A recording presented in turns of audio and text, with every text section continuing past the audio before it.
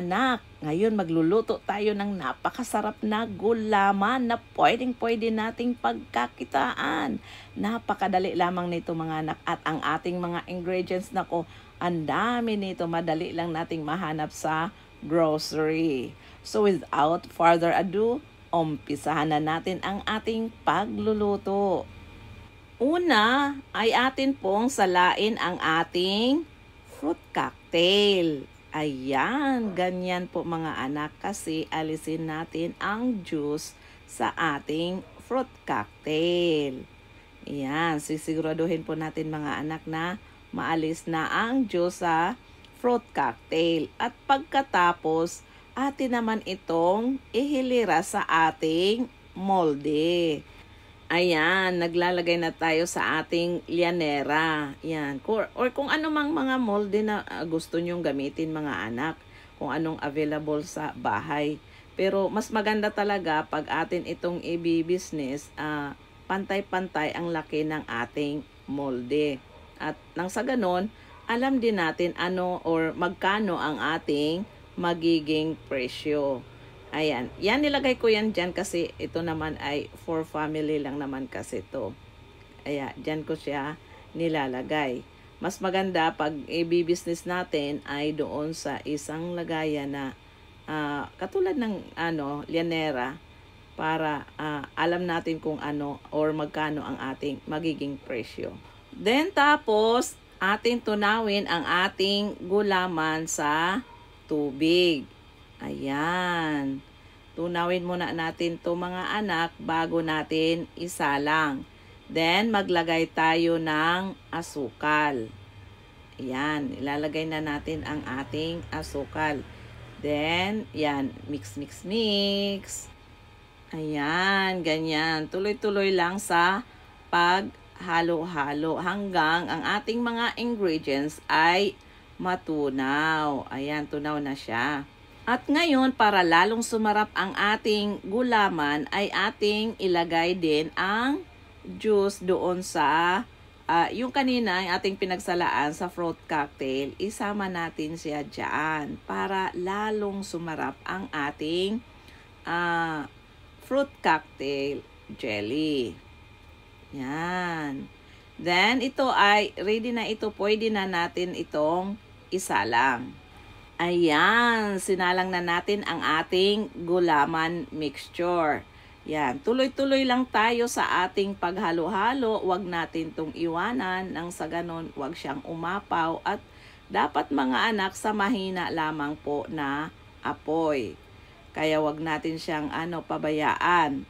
Dapat tuloy-tuloy lang ang ating paghalo-halo. Nang sa ganon, wag din siyang magbuo-buo. Ganyan. Gusto kasi natin na masarap ang ating uh, fruit cocktail jelly. Kaya yan. Then pagkatapos, pag uh, ito'y kumulo na, saka naman natin ilagay ang ating, ayan, naglagay tayo ng uh, evaporated milk. Yan. Then, halo-halo.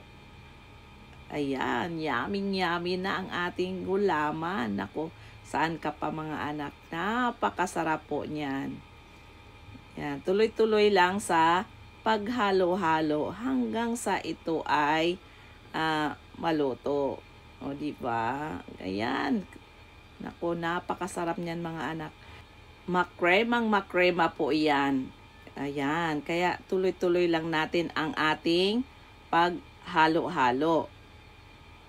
O, ayan o, yan. Yan ang nasabi ko mga anak na dapat talaga ay wag natin siyang iwanan kasi anytime pwede siyang umapaw. Sayang naman kung yan ay matatapon. Kaya yan, uh, tuloy-tuloy natin ang ating paghalo-halo hanggang siya ay ready na natin siyang isalin sa ating molde. Yan, kung makita nyo yan mga anak, o, oh, napaka uh, makremang makrema. Ang sarap-sarap po talaga niyan. Kaya subukan nyo po yan mga anak. At pwedeng pwede din ito pang himagas natin. Lalo na pag may birthday, ba diba? Christmas, New Year. Ay nako, ang sarap nito mga anak. Napakasarap siya na panghimagas. Lalo na kung ano, puro mamantikain ang ating kinakain dahil sa napakadami na mga handa. O di ba? Meron kang isang masarap na uh, gulaman.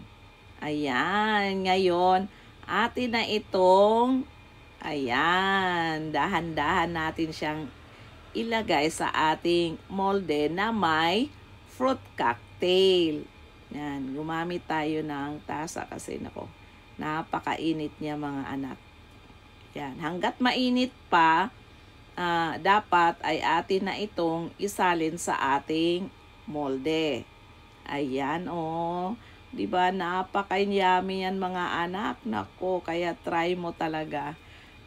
Balik-balikan talaga yan ng ating uh, mga chikiting.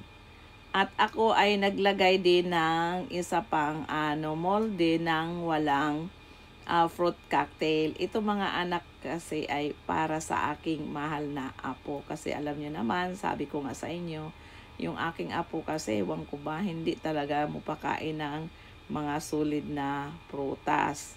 Mga juice lang ang gusto niya. Kaya yan, naghiwalay tayo ng para sa kanya.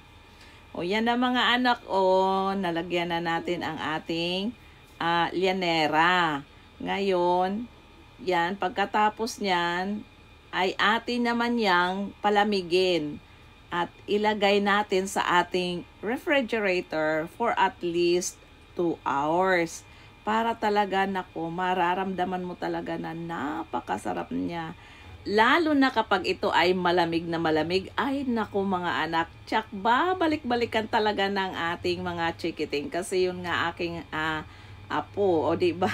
Yan, yan kanyan yan, yung walang fruit cocktail ay talaga naman. Hindi talaga yan niya tinatantanan hanggang hindi mauubos.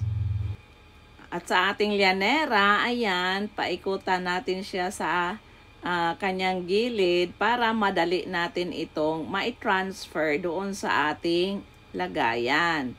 O, mas maganda mga anak ay ang ating lagyan yan ay presentable para naman uh, maganda sa mata ng ating mga buyer kung atin man itong i-business. Ayan, katulad ng ganyang plastic mga anak o yan, i-ano lang namin natin siya. Yan, para uh, malipat na natin siya. Ayan mga anak ko, oh, di ba? Ang sarap, sarap na ng ating uh, fruit cocktail jelly. O, oh, di ba? Ay nako, ganyan mga anak. O, oh, pwedeng pwede natin siyang i-business. Napakasimple lang at napakamura pa ng ating mga ingredients at napakadali lang talaga siyang lutuin po mga anak. Kaya try po natin uh, lalo na sa panahon ngayon na napakahirap ang buhay, gawa talaga tayo ng paraan nang sa ganon tayo naman ay kumita. O di po ba? O yan lamang po mga anak hanggang sa susunod nating pagluluto.